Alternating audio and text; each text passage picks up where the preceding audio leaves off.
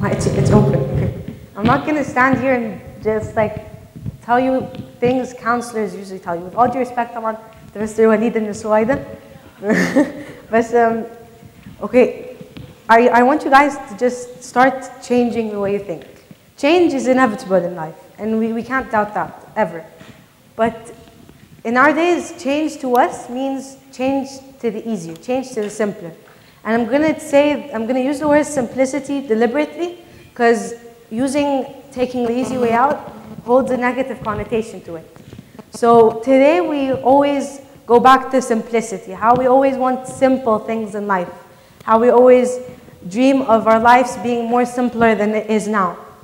But we're only 16 for God's sake. It's about, we owe it to ourselves to challenge ourselves sometimes. It, it, add to you as a person, it'll add to the value of you as a human being. If you take technology, for instance, as something that makes our life easier than ever, take a calculator. How many of you would have ever passed math? Like, despite the fact that there are HL students here who actually passed this math without a calculator, with a show of hands, truthfully. okay, well, for example, um, yo, Farah, on the top of your head, what's 13 times 3? What? Okay, so it, it, took you, it took you some time. So even though we can see technology as something that makes our lives easier, it actually makes our life, it hinders our life in another way. It makes us not want to, it makes us not eager for knowledge. We don't really work hard for anything. Like for instance, if I ask you when was the last time you felt a rush in your life? When was the last time you succeeded at something you knew you'd worked so hard for it and you knew it was a challenge and you actually succeeded? To me, that's what I call a rush in life.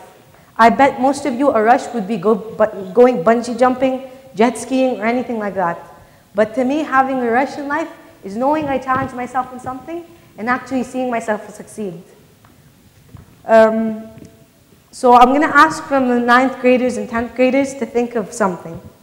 Uh, you guys will be facing tougher decisions in life soon. You're going to have to know what you want in life.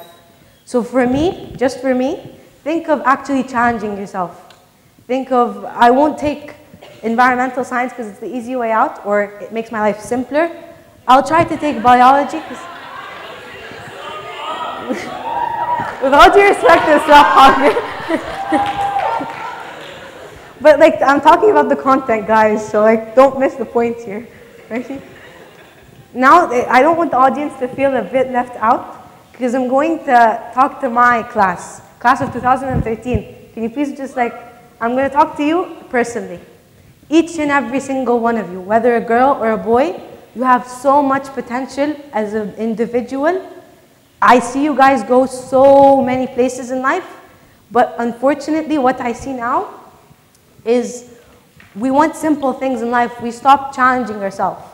So I'm going to ask you one thing. If, if you're going to come out of this like talk with one thing, start challenging yourself. Because I know you guys have so much potential and you are all so much so talented in each and every different way. But you guys just have so much potential and you have to start challenging yourself. I don't mean that in a negative way. Don't take that in a negative way, but it's an, it's an advice. And if you, if you really want to take it, then take it. So um, going back to all you guys, to me, I'm just going to end up by saying sometimes you will want simplicity in life and you are going to owe it to yourself to have simplicity in life. But make that like down, more down to, in the road. Make that when you hit your 40s, your 50s, then you owe it to your life for simplicity. Because now, to me, my, my age group, we have to challenge ourselves more than we do today. Thank you.